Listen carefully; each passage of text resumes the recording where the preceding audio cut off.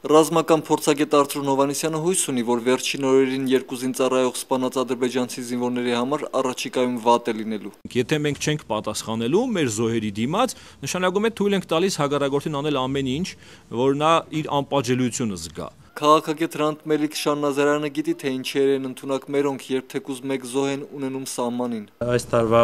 գարնան, երբ որ Արցախում սպանվեց բարձրաստիճան հայ զինվորական պաշտպանության բանակի հրամանատարը հայտարարեց, որ կար ժամանակում մոտ 40 թուրք է ոչնչացվել։ Երկուսի կարծիքով էլ Ադրբեջանը պատճառ ունի այս օրերին նման ակտիվության համար։ Ըստ քաղաքագետի պատճառը Գաբալայի ռադիոտեղորոշման կայանն է, որն ադրբեջանցիներն ուզում են հատուկ պայմաններով վարձակալության տալ ռուսներին։ Քաղաքագետի կարծիքով Ալիևն ուզում է ցույց տալ, թե ինչքան հզոր է Ադրբեջանը եւ ում հետ է Ռուսաստանը հաշվի նստելու։ Փորձում են հնարավորինս շատ օգուտներ քաղել սպառնալով, բառից բուն իմաստով սպառնալով թե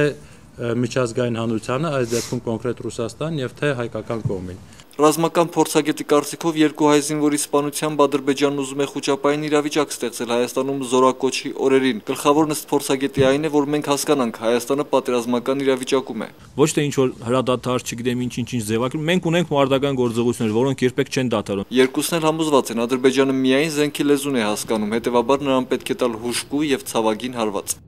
Մհեր Արշակյան Սարգսյան Բարսումյան, open